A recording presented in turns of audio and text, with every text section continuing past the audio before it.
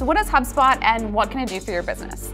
That's a good question, and it's one that people often look to answer because it does so many things. So at a top level, HubSpot can do marketing automation, um, there's a sales component, and then there's service. So they have three modules, and when you purchase Mark or when you purchase HubSpot, you have to figure out which one of those or all three that you're going to be utilizing for your business. Now the marketing module is going to be the one that you're using for marketing automation. And at a very basic level, that's taking uh, traffic, it's inviting traffic to your websites or people or visitors, converting those visitors into leads through, let's say it's ebooks or webinars or some other way that they would get onto your email list or do an action that would qualify them for a follow-up. So let's say, for example, someone comes to your website and they download one of your ebooks and they're registered as a contact. Um, there's a feature in marketing, uh, HubSpot marketing called sequ- or called workflows that you can then send them a follow-up um, and have that automated. There's a variety of components that make that possible. Um, you have things like a blog. Um, HubSpot has a blog component that allows you to track all of that into one place. Um, landing pages where you have the sole focus of that content on that page is for the visitor to complete that action. You have CTAs, which are calls to action, and that's if you're ever reading a blog and you see that there's a little section that says, "Hey, do you want to grab this, you know, ebook or do you want to download this uh, white paper?" That's what CTAs would be in HubSpot. And then you have the workflows, which is setting up the if this contact does this, then the system does this. And think about it from a sales perspective.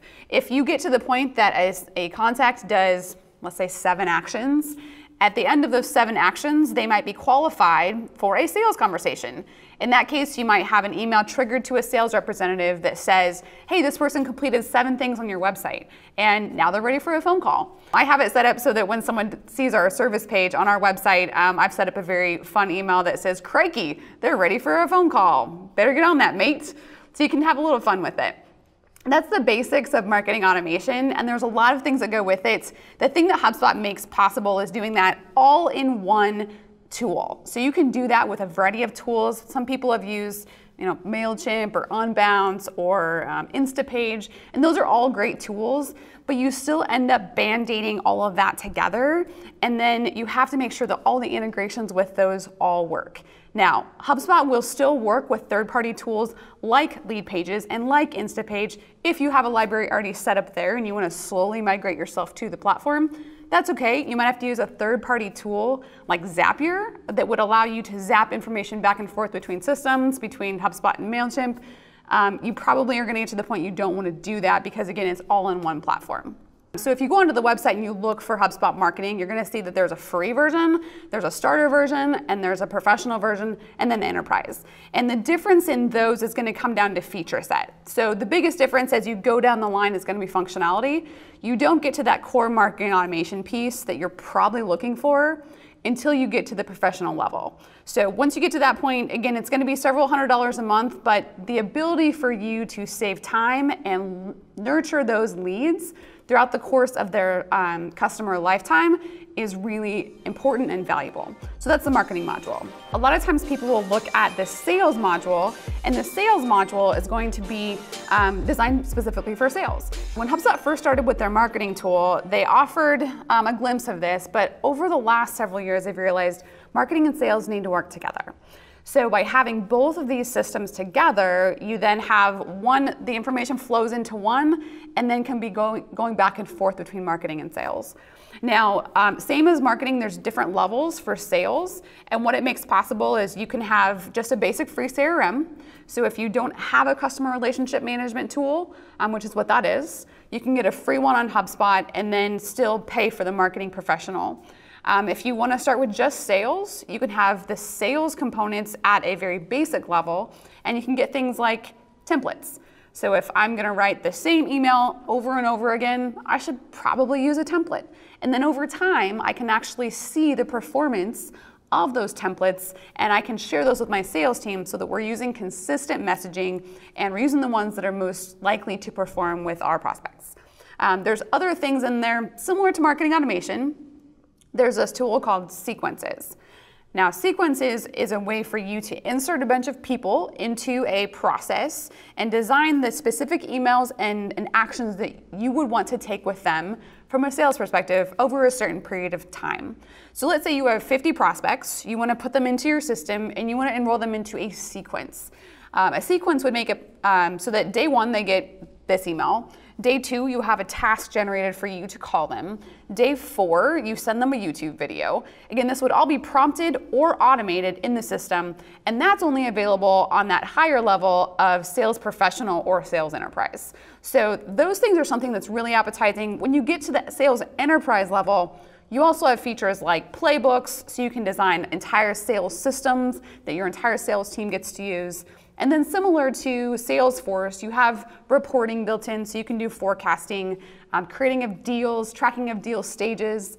When, the cool thing, when you use sales and marketing together, you can automate some activity based on deal stage as well, automatic reminders. It's just, it's a really great way to get everyone on the same page between marketing and sales and make it possible for you to track all that behavior through the life cycle um, of the client.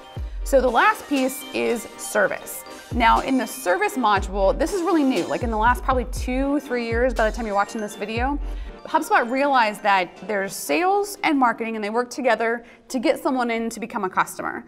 But that customer love, once they become a customer and that experience now is almost more important than the first part of that process.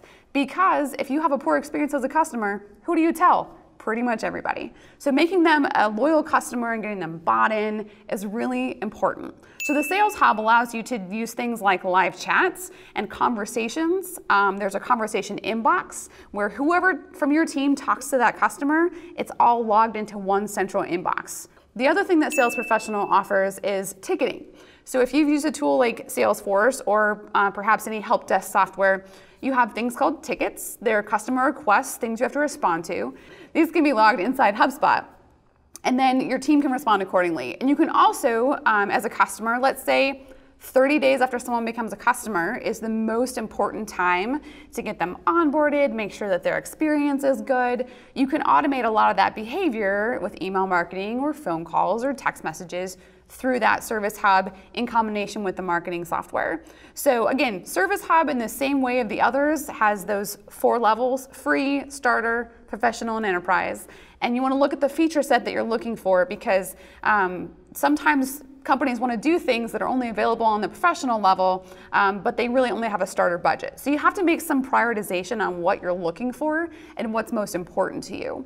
So those three modules together fit, and then there are some upgrades throughout the course of the software. So if you want more advanced reporting, that's an upgrade. Um, there's gonna be some integrations with third-party software that you may have to pay for, um, like if you wanna use a, a third-party tool that costs money to integrate with, with HubSpot. So there's a lot of things to think about when you're purchasing HubSpot. The thing I want you to keep in mind is HubSpot is a tool. And so a tool is designed to do really great things when a strategy is laid out, and that's typically where um, companies go wrong. And if you use HubSpot and you get a lot of value out of it, I guarantee you, you have a pretty good or well-refined strategy on what you're doing with the tool. So if you're considering HubSpot and you have additional questions that I didn't cover in this video, feel free to drop a comment below or send us an email. Um, we'll go ahead and drop some contact information in the description and reach out to us and see how we can help.